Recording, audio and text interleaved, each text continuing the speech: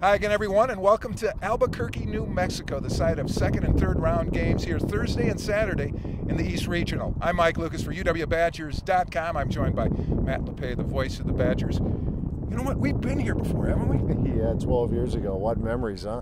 I don't, I don't remember a whole lot about the city. I remember it's a great arena, and uh, obviously the memories of going to the Final Four with, with Dick Bennett um, was unbelievable. But it, I do remember the venue being a great basketball venue, and that's what I'm looking forward to this time around. Bo Ryan felt it was important to get here as early as possible, and that has a lot to do with the altitude, does it not? Yeah, I would think it would be part of it. And he had a old buddy of his from Chester, Pennsylvania, who's lived out Which here for a while. Of course, you just yeah, you never you never completely leave Chester, uh, but was able to get him into uh, one of the local high schools, so they had a good practice on on Tuesday afternoon, and then they'll have another practice somewhere else uh, Wednesday before their open the open gym at the pit uh, later in the day. But uh, yeah, just getting out here, I think getting acclimated to uh, everything that is all all about Albuquerque, and most importantly the 5,300 feet above sea level, and you want to get your guys ready for that. By now, the Badgers should be pretty comfortable with the 4-13 matchup. This is the third straight year for that.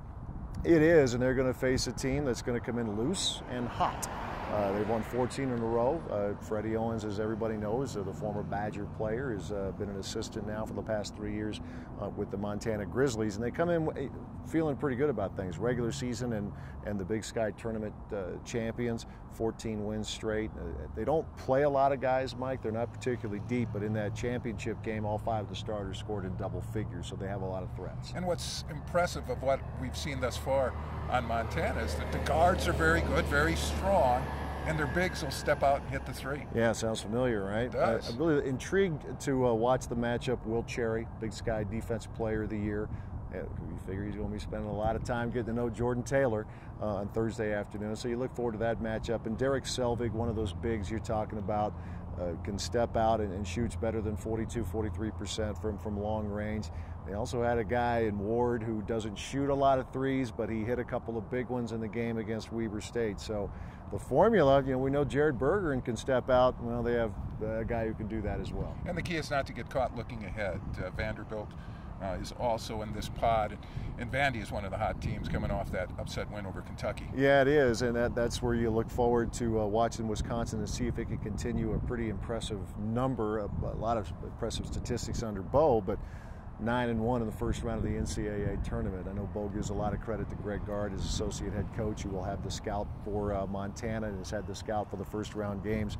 It's a heck of a mark, and hopefully they can make that 10 and one. 14 straight years in the Big yeah. Dance, isn't that something? It really is, Mike. I mean, uh, you know, you've been around here longer than I have, but I just remember the first few years that I was covering this program, late 80s, early 90s. That it'd be fun to be around a team that's part of the March Madness. You don't take it for granted. I know this team doesn't either. Bo admitted that he didn't know if this team had the goods, but after that win at Purdue, they got on a nice roll, and uh, it, it's kind of like nice bowl games. It never gets old being in the tournament.